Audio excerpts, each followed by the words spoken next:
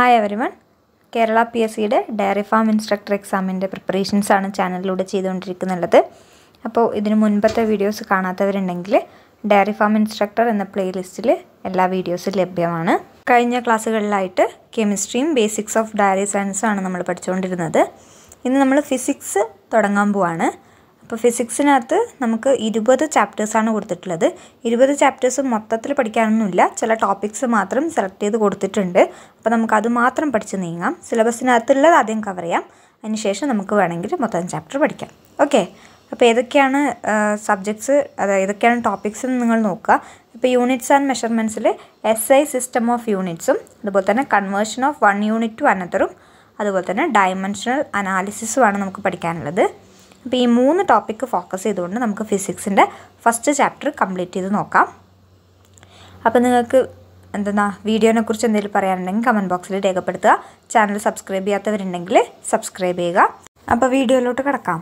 അപ്പോൾ നമ്മൾ പഠിക്കാൻ പോകുന്നുള്ളത് യൂണിറ്റ്സ് ആൻഡ് മെഷർമെന്റ്സ് എന്ന ചാപ്റ്ററാണ് ഇതിൽ യൂണിറ്റ്സ് എന്ന് വെച്ചാൽ എന്താണ്?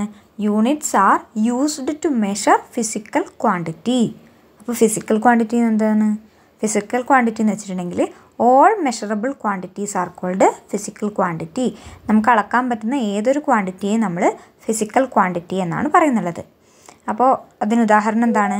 നമ്മളിപ്പോൾ ഡിസ്റ്റൻസ് മെഷർ ചെയ്യാറുണ്ട് അല്ലേ? ഇത്ര ദൂരമുണ്ട് എന്നൊക്കെ മെഷർ ചെയ്യാറുണ്ട്. അപ്പോൾ അതൊരു ഫിസിക്കൽ ക്വാണ്ടിറ്റിയാണ് അതുപോലെ തന്നെ മാസ് വെയിറ്റ് നമ്മൾ മെഷർ ചെയ്യാറുണ്ട് അല്ലേ? ഒരു അപ്പോൾ അത് ഒരു എന്താണ്? ഫിസിക്കൽ ക്വാണ്ടിറ്റിയാണ് അങ്ങനെ നമുക്ക് അളക്കാൻ പറ്റുന്ന ഏതൊരു ക്വാണ്ടിറ്റിയും നമ്മൾ ഫിസിക്കൽ ക്വാണ്ടിറ്റി എന്ന് പറയും. അപ്പോൾ അത്തരം ഫിസിക്കൽ ക്വാണ്ടിറ്റീനെ അളക്കാൻ യൂസ് ചെയ്യുന്നതിനെയാണ് നമ്മൾ യൂണിറ്റ്സ് എന്ന് പറയുന്നത്. ഇപ്പോൾ ഉദാഹരണത്തിന് ഇപ്പോൾ പറഞ്ഞില്ലേ ഡിസ്റ്റൻസ് എന്ന് പറഞ്ഞില്ലേ? ആ ഡിസ്റ്റൻസിന്റെ യൂണിറ്റ് എന്താണ്? മീറ്റർ അല്ലെങ്കിൽ കിലോമീറ്റർ അല്ലെങ്കിൽ സെന്റിമീറ്റർ അങ്ങനെ നമ്മൾ പലതരം യൂണിറ്റ്സ് യൂസ് ചെയ്യാറുണ്ട്. ഇപ്പം മാസ് പറഞ്ഞു ഗ്രാം കിലോഗ്രാം ഇതൊക്കെ അതിന്റെ യൂണിറ്റ്സ് ആണ്. നിങ്ങൾക്ക് കൺസെപ്റ്റ് അറിയാമല്ലോ അതൊന്ന് മനസ്സിലാക്കി വെക്കുക ഇനിയിപ്പോൾ നമ്മൾ പറഞ്ഞ ഫിസിക്കൽ ക്വാണ്ടിറ്റി ഉണ്ടല്ലോ അത് രണ്ട് ടൈപ്പ് ഉണ്ട്. ഫണ്ടമെന്റൽ ക്വാണ്ടിറ്റി അല്ലെങ്കിൽ ബേസ് ക്വാണ്ടിറ്റി എന്നറിയപ്പെടും. പിന്നെ ഒന്ന് ഡിറൈവ്ഡ് ക്വാണ്ടിറ്റി ഈ രണ്ട് ടൈപ്പ് ഓഫ് ഫിസിക്കൽ ക്വാണ്ടിറ്റീസ് ആണ് ഉള്ളത്.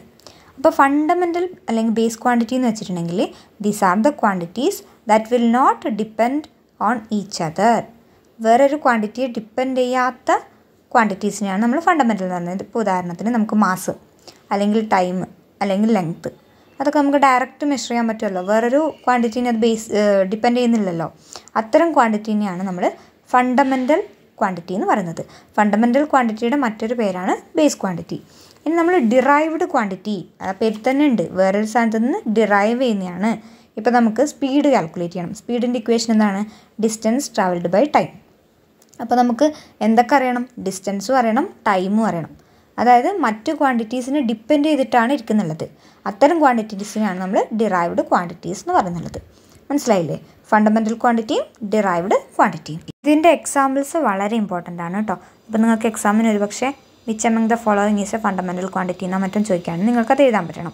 അപ്പോൾ മെയിനായിട്ട് ഫണ്ടമെന്റൽ ക്വാണ്ടിറ്റീസിൽ വരുന്നതാണ് മാസ് ലെങ്ത്ത് ടൈം നിങ്ങൾ തന്നെ ഒന്ന് ആലോചിച്ച് നോക്കിയാൽ മതി. മാസം എടുക്കണമെങ്കിൽ വേറെ ക്വാണ്ടിറ്റീനെ ഡിപ്പെൻഡ് ചെയ്യേണ്ട. ലെങ്ത്ത് ഡയറക്റ്റ് മെഷർ ചെയ്യുന്നതാണ്. ടൈം ഡയറക്റ്റ് നോക്കുന്നതാണ്. അതുപോലെ തന്നെ മറ്റ് ഫണ്ടമെന്റൽ ക്വാണ്ടിറ്റീസ് ഏതൊക്കെയാണെന്ന് പറയാം. ജസ്റ്റ് നോട്ട് ചെയ്ത് വെക്കുക ഇതൊക്കെയാണ് ടെമ്പറേച്ചർ ഇല്ലേ? ടെമ്പറേച്ചർ മെഷർ ചെയ്യാൻ വേറെ ഏതെങ്കിലും ക്വാണ്ടിറ്റിനെ ഡിപ്പെൻഡ് ചെയ്യണോ? വേണ്ട. ടെമ്പറേച്ചർ അതുപോലെ തന്നെ എമൗണ്ട് ഓഫ് സബ്സ്റ്റൻസ് അതുപോലെ ലൂമിനസ് ഇന്റൻസിറ്റി ഇലക്ട്രിക് കറന്റ് പിന്നെ മാസ് ലെങ്ത് ടൈം ഇതൊക്കെയാണ് ഫണ്ടമെന്റൽ ക്വാണ്ടിറ്റീസിൽ വരുന്നുള്ളത്. ഇനി ഇതിന് പുറമെയായിട്ട് വരുന്ന നമ്മുടെ സ്പീഡ് ഫോഴ്സ് പിന്നെ പവർ ഇതൊക്കെ എന്താണ്? ഡിറൈവ്ഡ് ക്വാണ്ടിറ്റിയാണ് ഇനി നമ്മൾ ഇതിനൊക്കെ മെഷർ ചെയ്യുന്നത് ഓരോ യൂണിറ്റിലാണ് അല്ലേ? ഇപ്പോൾ മാസമായാലും ഗ്രാം കിലോഗ്രാം എന്നീ യൂണിറ്റ്സ് ഉണ്ട്. അല്ലെങ്കിൽ നമ്മുടെ ലെങ്ത്തിനാണെങ്കിൽ മാസ് സെന്റിമീറ്റർ മില്ലിമീറ്റർ അങ്ങനെ പലതരം യൂണിറ്റ്സ് ഉണ്ട്. പിന്നെയുള്ളത് ഇപ്പോൾ ഇതാ ടൈം അവർ മിനിറ്റ് സെക്കൻഡ് എന്നൊക്കെ പറയാറുണ്ട്. അങ്ങനെ ഓരോന്നിനും ഓരോ യൂണിറ്റ് ഉണ്ട്. ഡിഫറെന്റ് ടൈപ്സ് ഓഫ് യൂണിറ്റ് ഉണ്ട്. അപ്പോൾ നമ്മൾ ആ സിസ്റ്റം ഓഫ് യൂണിറ്റ്സ് ആണ് ഇപ്പോൾ നോക്കുന്നുള്ളത്. മെയിൻലി സി ത്രീ ടൈപ്സ് ആണ് ഇവിടെ കൊടുത്തിട്ടുള്ളത്. ഒന്ന് സി ജി എസ് പിന്നെ എഫ് പി എസ് പിന്നെ എം കെ എസ് ഇതിനകത്ത് സി ജി എസ് എന്ന് പറയുമ്പോൾ സെന്റിമീറ്റർ ഗ്രാം സെക്കൻഡ് പിന്നെ എഫ് പി എസ് ആണെങ്കിൽ foot pound second M K S ആണെങ്കിൽ മീറ്റർ കിലോഗ്രാം സെക്കൻഡ് മനസ്സിലായോ? അതാണ് ആ system C G S system ആണെങ്കിൽ centimetre gram second F P S ആണെങ്കിൽ foot pound second then M K S ആണെങ്കിൽ metre kilogram second പക്ഷേ നമുക്ക് നമ്മുടെ സിലബസിൽ ഏതാണ് കൊടുത്തിട്ടുള്ളത്? ഏതാണ് പറഞ്ഞിട്ടുള്ളത്? S I system S I system എന്ന് വെച്ചാൽ എന്താണ്? ഇന്റർനാഷണലി ആക്സെപ്റ്റഡ് സിസ്റ്റമാണ് എസ് ഐ സിസ്റ്റം ഇപ്പോൾ കണ്ട ബാക്കിയുള്ള മൂന്ന് സിസ്റ്റത്തിൽ എന്താണ് ഒന്നിൽ സെന്റിമീറ്റർ ആണ് ഒന്നിൽ മീറ്റർ ആണ് ഒന്നിൽ കിലോഗ്രാം ആണ് ഒന്നിൽ ഗ്രാം ആണ് അങ്ങനെയൊക്കെയല്ലേ വരുന്നുള്ളത്. അപ്പോൾ നമ്മൾ പല കൺട്രീസിൽ പോയാൽ പലതരത്തിലുള്ള യൂണിറ്റ്സ് ആണ് യൂസ് ചെയ്യുന്നുള്ളത്. അതുകൊണ്ട് ഇന്റർനാഷണലി ആക്സെപ്റ്റഡ് ആയിട്ടുള്ള ഒരു യൂണിറ്റ് കൊണ്ടുവന്നു. അതാണ് എസ് ഐ യൂണിറ്റ് എന്ന് പറയുന്നുള്ളത്. International system of units. അതിപ്പോൾ ഏത് കൺട്രിയിൽ പോയാലും സെയിം ആയിരിക്കും. അപ്പോൾ ഈ ഇന്റർനാഷണൽ സിസ്റ്റം ഓഫ് യൂണിറ്റ്സിൽ നമുക്ക് ഏഴ് ഫണ്ടമെന്റൽ ക്വാണ്ടിറ്റിയുടെ യൂണിറ്റ്സും അതുപോലെ തന്നെ രണ്ട് സപ്ലിമെന്ററി യൂണിറ്റ്സും ആണ് മെയിനായിട്ട് പഠിക്കാനുള്ളത്. ഓക്കെ അപ്പോൾ ഇതിന്റെ ഇത് കമ്പൾസറി ആയിട്ട് നമ്മൾ പഠിച്ചിരിക്കണം. അപ്പോൾ ആ ഏഴെണ്ണം ഏതൊക്കെയാണെന്ന് നോക്കാം. Length mass time electric current temperature amount of substance luminous intensity ഈ ഏഴ് ഫണ്ടമെന്റൽ ക്വാണ്ടിറ്റീസിന്റെ യൂണിറ്റും നമ്മൾ എന്തായാലും അറിഞ്ഞിരിക്കണം. അതിനകത്ത് ലെങ്ത്ത് നിങ്ങൾക്കറിയാം. മീറ്റർ ആണ് എസ് ഐ യൂണിറ്റ് ഓക്കെ നമുക്ക് സെന്റിമീറ്റർ അറിയാം മീറ്റർ അറിയാം കിലോമീറ്റർ അറിയാം. പക്ഷേ എസ് ഐ യൂണിറ്റ് ഏതെന്ന് വെച്ചിട്ടുണ്ടെങ്കിൽ മീറ്റർ ആണ്. മാസിന്റെ എസ് ഐ യൂണിറ്റ് കിലോഗ്രാം ആണ്. മാറിപ്പോവരുത്. ലെങ്ത്ത് മീറ്റർ ആണ് മാസ് കിലോഗ്രാം ആണ് ടൈം എടുക്കുകയാണെങ്കിൽ സെക്കൻഡ് ആണ് ഇലക്ട്രിക് കറണ്ട് ആംപിയർ. ഇനി ടെമ്പറേച്ചർ കെൽവിനാണ്. നമ്മൾ സെൽഷ്യസ് ഉണ്ട് ഫാരൻ ഹീറ്റ് ഉണ്ട് കെൽവിൻ ഉണ്ട്. നമ്മുടെ എസ് ഐ യൂണിറ്റ് ഏതാണ്? കെൽവിനാണ്. ഇതൊക്കെ ഒരു മാർക്കിന് ചോദിക്കാവുന്ന ക്വസ്റ്റ്യൻസ് ആണ്. കെൽവിനാണ്. Amount of substance mole luminous intensity candela അപ്പോൾ ഇത്രയും യൂണിറ്റ്സ് പഠിച്ചു വെക്കുക. അതുപോലെ തന്നെ അതിന്റെ സിമ്പിൾസും length metre small letter M ആണ്. കിലോഗ്രാം നമുക്കറിയാം. കെ ജി ആണ്. സെക്കൻഡ് എസ് ആണ്. ആംപിയറിന്റെത് ക്യാപിറ്റൽ ലെറ്റർ എ ആണ്. Kelvin capital letter K mole എന്ന് എഴുതുമ്പോൾ M O L small letter ആണ്. പിന്നെ കാൻഡില സി ഡി അപ്പോൾ ഏഴ് ക്വാണ്ടിറ്റീസ് പഠിച്ചില്ലേ? ഏഴ് ക്വാണ്ടിറ്റീസിന്റെയും സിമ്പിൾസും അതുപോലെ തന്നെ അതിന്റെ യൂണിറ്റ്സും നമ്മൾ പഠിച്ചു കഴിഞ്ഞു. ഇനിയുള്ളത് രണ്ട് സപ്ലിമെന്ററി യൂണിറ്റ്സ് ആണ്. അതേതൊക്കെയാണെന്ന് നോക്കാം. പ്ലെയിൻ ആംഗിളും സോളിഡ് ആംഗിളും ഇത് രണ്ടാണ് സപ്ലിമെന്ററി യൂണിറ്റ്സ് ആയിട്ട് വരുന്നുള്ളത്. ഇതിനകത്ത് പ്ലെയിൻ ആംഗിളിന്റെ യൂണിറ്റ് റേഡിയനും സോളിഡ് ആംഗിളിന്റെ യൂണിറ്റ് സ്റ്റിറേഡിയനുമാണ് അപ്പോൾ എത്ര എണ്ണം പഠിച്ചത് ഒമ്പതെണ്ണം നമ്മൾ പഠിച്ചു. അതിനകത്ത് ഏഴെണ്ണം ഫണ്ടമെന്റൽ ക്വാണ്ടിറ്റീസ് ആണ്.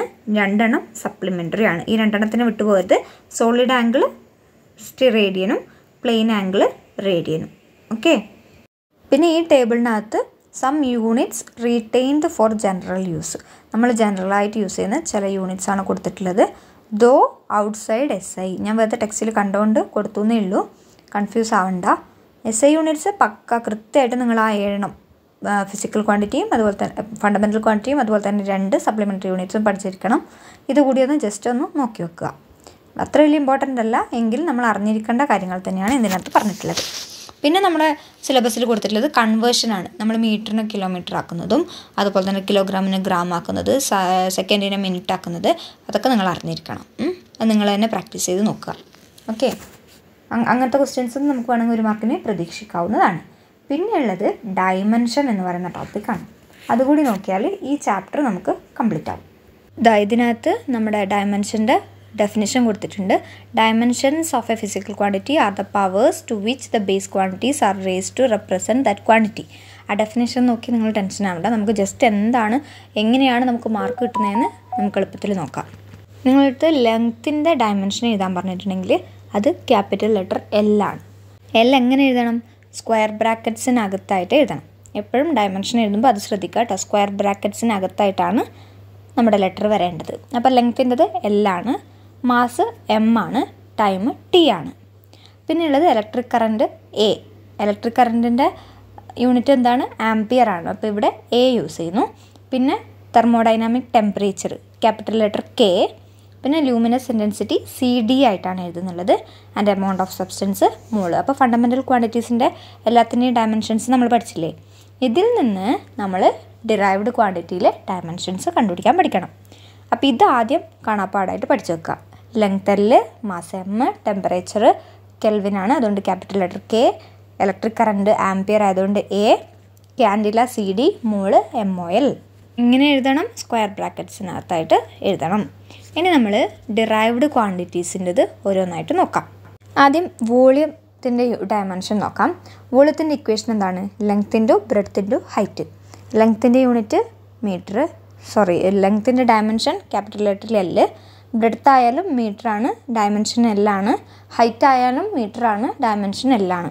അപ്പോൾ L into L into L അപ്പോൾ എത്ര എൽ കിട്ടി? മൂന്ന്. അപ്പോൾ എൽ ക്യൂബ് എങ്ങനെ എഴുതണം? സ്ക്വയർ ബ്രാക്കറ്റിനകത്ത് അതാണ് ഡയമെൻഷൻ ഓഫ് വോളിയം ഇനി ഏരിയയുടെ ആണെങ്കിലോ ഏരിയ ഏരിയയുടെ ഇക്വേഷൻ എന്താണ്? ലെങ്ത് ഇന്റു ബ്രെഡ്ത്ത് ലെങ്ത്തിന്റെ dimension L ബ്രെഡ്ത്തിന്റെ dimension L L into L L square അങ്ങനെ വേണം നമ്മൾ ഓരോന്നിന്റെയും ഡയമെൻഷൻ എഴുതാൻ.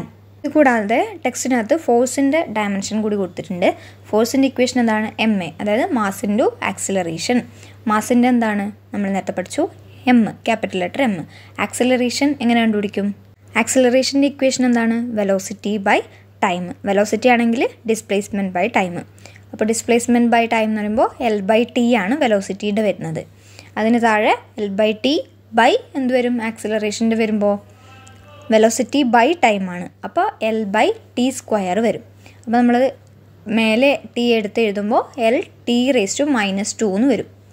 M L T raise to minus two ഇതാണ് ഫോഴ്സിന്റെ ഇക്വേഷൻ വരുന്നുള്ളത്. മാസ് ഇന്റു ആക്സിലറേഷൻ അതിൽ ആക്സിലറേഷൻ വെലോസിറ്റി ബൈ ടൈം ആണ്.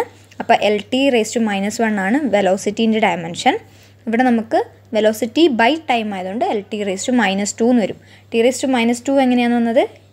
മനസ്സിലായില്ലേ? താഴെയുള്ളത് മേലെ വന്നപ്പോഴാണ് മൈനസ് ടു ആയത്. അപ്പോൾ M L T raise to minus two ആണ് ഫോഴ്സിന്റെ ഇക്വേഷൻ ഡയമെൻഷനായിട്ട് വരുന്നുള്ളത്. അപ്പോൾ നിങ്ങൾ ശ്രദ്ധിക്കേണ്ട കാര്യം ബ്രാക്കറ്റിനകത്താണ് എഴുതിയിട്ടുള്ളത്. നമുക്ക് കുറച്ച് വേറെ ക്വാണ്ടിറ്റീസിന്റെ കൂടി ഡയമെൻഷൻ എഴുതി നോക്കാം. അപ്പോൾ നമുക്ക് ക്ലിയർ ആവും. ഇത് ഫസ്റ്റ് ആയതുകൊണ്ടായിരിക്കും ചിലപ്പോൾ നിങ്ങൾക്ക് ചെറിയൊരു കൺഫ്യൂഷൻ ഉണ്ടാവാം. നമുക്ക് ഓരോന്നായി ചെയ്ത് നോക്കുമ്പോൾ എളുപ്പത്തിൽ കിട്ടും. മെയിനായിട്ട് ഓർക്കേണ്ടത് ഈ mass M length L time T ആണ്. അപ്പോൾ ഇത് വെച്ചിട്ടാണ് നമ്മൾ ബാക്കിയുള്ള ഡിറൈവ്ഡ് ക്വാണ്ടിറ്റീസിന്റെ ഡയമെൻഷൻസ് എഴുതുന്നത്. അപ്പോൾ ആ ഡിറൈവ്ഡ് ക്വാണ്ടിറ്റീസിന്റെ ഇക്വേഷൻ നമ്മൾ ആദ്യം അറിയണം. ആ ഇക്വേഷനിൽ അതിന്റെ യൂണിറ്റിന്റെ ഡയമെൻഷൻ ഏതാണോ അത് നമ്മൾ സബ്സ്റ്റിറ്റ്യൂട്ട് ചെയ്തിട്ടാണ് ഈ ഡയമെൻഷൻ കണ്ടുപിടിക്കുന്നത്. ഓരോന്ന് ചെയ്യുമ്പോൾ നമുക്ക് മനസ്സിലാവും. ഡെൻസിറ്റിയുടെ ഡയമെൻഷൻ എന്തായിരിക്കും? Density is equal to mass by volume അല്ലേ? അല്ലേ? അപ്പോൾ മാസിന്റെത് എം വോളിയം എന്ന് പറയുമ്പോൾ എൽ ക്യൂബ് നമ്മൾ നേരത്തെ ചെയ്തില്ലേ? ലെങ്ത് ഇന്റു ബ്രെഡ്ത്ത് ഹൈറ്റ് അപ്പോൾ എൽ ക്യൂബ് അല്ലേ? അപ്പോൾ എം ബൈ എൽ ക്യൂബ് എന്ന് വരും. അപ്പോൾ നമ്മൾ എൽ ക്യൂബ് താഴെയുള്ളത് മേലെ വരുമ്പോൾ M L raise to minus three okay അപ്പോൾ ഡെൻസിറ്റിയുടെ എന്താണ്? M L raise to minus three അടുത്തത് മൂമെന്റം ഒന്ന് നിങ്ങൾ ചെയ്ത് നോക്കുക. മാസ് ഇന്റു വെലോസിറ്റിയാണ് ഇക്വേഷൻ അപ്പോൾ mass M വെലോസിറ്റിയുടെ L T raise to minus one അപ്പോൾ M L T raise to minus one ആയിരിക്കണം ഉത്തരം. ഇനി അടുത്ത വർക്കിന്റെ നോക്കാം. വർക്കിന്റെ ഇക്വേഷൻ എന്താണ്? ഫോഴ്സ് ഇന്റു ഡിസ്പ്ലേസ്മെന്റ് ആണ്. ഫോഴ്സ് നമ്മൾ നേരത്തെ ചെയ്തില്ലേ? M L T raise to minus two ആണ്. ഡിസ്പ്ലേസ്മെന്റിന്റെ എന്താണ്? ലെങ്ത് ആയിരിക്കും എൽ ആണ്. അപ്പോൾ എന്താണ്? M L square T raise to minus two അതാണ് വർക്കിന്റെ അപ്പോൾ നിങ്ങൾ എനർജിയുടെ ചെയ്ത് നോക്കുക. അങ്ങനെ നിങ്ങൾക്ക് പറ്റാവുന്നതിന്റെയൊക്കെ നിങ്ങൾ ചെയ്ത് നോക്കുക കേട്ടോ. അടുത്ത ടെക്സ്റ്റ് ബുക്കിനകത്ത് കൊടുത്തിട്ടുള്ള ഒരു ക്വസ്റ്റ്യൻ ആണ്. ഇത് ജസ്റ്റ് നിങ്ങൾക്ക് ഒന്നുകൂടി ഡയമെൻഷനെ കുറിച്ച് ഒന്നുകൂടെ മനസ്സിലാവാൻ വേണ്ടി കൊടുത്തു എന്നേ ഉള്ളൂ. ഇത്തരം ചോദ്യങ്ങളൊന്നും ചോദിക്കാൻ ചാൻസ് ഇല്ല. എന്നാലും നിങ്ങളൊന്ന് കണ്ടു വെക്കണം ഇതിനകത്ത് ചോദിച്ചിട്ടുള്ള എന്താണ്? ഒരു ഇക്വേഷൻ തന്നിട്ടുണ്ട്. Half M V square equal to M G H എന്നിട്ട് ഇതിന്റെ ഡയമെൻഷൻസ് കറക്റ്റ് ആണോ എന്ന് നോക്കാൻ പറഞ്ഞിട്ടുണ്ട്. Check whether this equation is dimensionally correct ആണോ എന്ന്. അപ്പോൾ അതിനർത്ഥം റൈറ്റ് ഹാൻഡ് സൈഡിലെ ഇക്വേഷന്റെ ഡയമെൻഷനും ലെഫ്റ്റ് ഹാൻഡ് സൈഡിലെ ഡയമെൻഷൻ ഇക്വേഷന്റെ ഡയമെൻഷനും ഈക്വൽ ആയിരിക്കണം. അപ്പോഴാണ് ഡയമെൻഷനലി കറക്റ്റ് ആവുന്നത്. അപ്പോൾ നമ്മൾ ലെഫ്റ്റ് ഹാൻഡ് സൈഡിലത്തെ ഡയമെൻഷൻ എഴുതി നോക്കുക. Half M V square mass velocity ഹാഫിനില്ല mass velocity square അപ്പോൾ എന്തായി? മാസിന്റെ M വെലോസിറ്റീന്റെ L T raise to minus one V square ആയതുകൊണ്ട് അത് M L square T raise to minus two എന്ന് വരും. അതുപോലെ തന്നെ നിങ്ങൾ റൈറ്റ് ഹാൻഡ് സൈഡിൽ എഴുതി നോക്കുക. ഇങ്ങനെ നിങ്ങൾക്ക് എവിടുന്നെങ്കിലും ഡയമെൻഷന്റെ ക്വസ്റ്റ്യൻ കിട്ടുകയാണെങ്കിൽ നിങ്ങൾ ചെയ്ത് നോക്കണം. ഓക്കെ നമുക്ക് മിക്കവാറും അങ്ങനെ കടുപ്പത്തിലുള്ളതൊന്നും ചോദിക്കാൻ ചാൻസ് ഇല്ല. എങ്കിലും നമ്മൾ ഈ ബേസിക് ആയിട്ടുള്ള സാധനങ്ങളുണ്ടല്ലോ ഫോഴ്സ് വർക്ക് പവർ അതുപോലെ തന്നെ ആക്സിലറേഷൻ വെലോസിറ്റി പിന്നെ എനർജി ഇതിന്റെയൊക്കെ ഡയമെൻഷൻസ് കൃത്യമായി പഠിച്ചു വെക്കുക. നമുക്ക് പഠിച്ചു വെക്കുകയാണെങ്കിൽ ഓപ്ഷൻ കാണുമ്പോൾ ഡയറക്റ്റ് ടിക്ക് ചെയ്യുന്നുണ്ട്. ഇല്ലെങ്കിൽ അവിടെ ഇരുന്ന് നമ്മൾ ഇങ്ങനെ ചെയ്തുകൊണ്ടിരിക്കണം. അപ്പോൾ ഓപ്ഷനിൽ വേറെ കാണുമ്പോൾ നമുക്ക് കൺഫ്യൂഷൻ വരും. ഇതൊക്കെ പ്രശ്നമാണ്. ആ പിന്നെ ഇത്രയാണ് ഈ ചാപ്റ്ററിനെ കുറിച്ച് നമുക്ക് പറയാനുള്ളത്. പിന്നെ നിങ്ങളോടൊരു കാര്യം പറയാനുള്ളത്. ഇപ്പോൾ നമ്മുടെ പി എസ് സി പ്രൊഫൈലിൽ ലബോറട്ടറി അസിസ്റ്റന്റ് എന്ന് വെച്ചിട്ട് രണ്ട് രണ്ട് ഒന്ന് ഡിസ്ട്രിക്റ്റ് വൈസ് ഒന്ന് സ്റ്റേറ്റ് വൈഡ് ഇത് വിളിച്ചിട്ടുണ്ട്. അപ്പോൾ അപ്ലൈ ചെയ്യാൻ താല്പര്യമുള്ളവർ അത് അപ്ലൈ ചെയ്യുക. അതിനകത്ത് ട്വൽത്താണ് ക്വാളിഫിക്കേഷൻ കൊടുത്തിട്ടുള്ളത്. അപ്പോൾ മിക്കവാറും എന്റെ ഒരു ഊഹത്തിൽ പറയുകയാണെങ്കിൽ ഇതേ പ്ലസ് ടു സിലബസ് ആയതുകൊണ്ട് പ്ലസ് ടു ക്വാളിഫിക്കേഷൻ ആയതുകൊണ്ട് ഇതേ സിലബസ് തന്നെ ആയിരിക്കും അടുത്ത എക്സാമിന് ഉണ്ടാവുക. അടുത്ത എക്സാം അല്ല ആ എക്സാമിന് ഉണ്ടാവുക.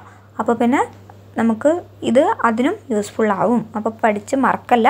നമ്മളിങ്ങനെ പ്രാക്ടീസ് ചെയ്തുകൊണ്ട് അതെപ്പോഴും നമുക്ക് കൊണ്ടുപോകണം. അപ്പോൾ മുന്നോട്ടുള്ള എക്സാംസിന് നമുക്കത് യൂസ്ഫുൾ ആവണം. പിന്നെ ഡയറി സയൻസ് ചിലപ്പോൾ ഉണ്ടാവില്ലായിരിക്കും. അതിന് പകരം ലബോറട്ടറി ആയതുകൊണ്ട് അവരുടെ ലബോറട്ടറീന്റെ വല്ല സബ്ജക്റ്റും ആയിരിക്കും അതിനകത്ത് വരിക. എം എൽ ടിയോ അങ്ങനത്തെ കാര്യങ്ങളായിരിക്കും വരിക. അപ്പോൾ നവംബർ ഇരുപത്തൊമ്പതാം തീയതിയാണ് ലാസ്റ്റ് ഡേറ്റ് എന്ന് തോന്നുന്നു. എന്നാലും ഒന്ന് നിങ്ങൾ പ്രൊഫൈലിൽ കയറി നോക്കുക. അപ്ലൈ ചെയ്യുന്നവർ അപ്ലൈ ചെയ്യാം അപ്പം പിന്നെ എന്താ പറയാനുള്ളത്? ഡയറി ഫാമിന്റെ റിവിഷൻ നിങ്ങൾ ഇടയ്ക്കിടയ്ക്ക് ചെയ്യണം. നമ്മൾ തന്നെ ഇതിനു മുന്നേ ചെയ്തിട്ടുള്ള വീഡിയോസ് പറ്റുമെങ്കിൽ ഇടയ്ക്കിടയ്ക്ക് കേട്ട് നോക്കണം.